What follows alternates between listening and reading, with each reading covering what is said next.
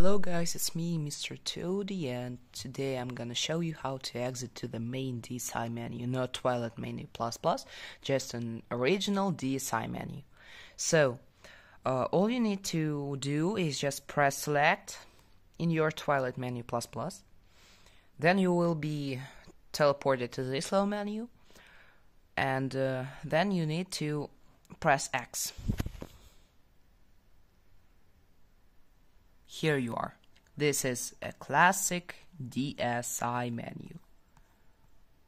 Nintendo DSI menu as you can see. And if you want to get back to Twilight menu, you need to press camera. Here you can see an album. Checking. Select your SD card album.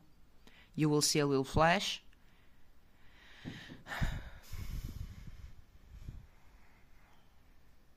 And of course, as you can see, here your Twilight menu plus plus menu.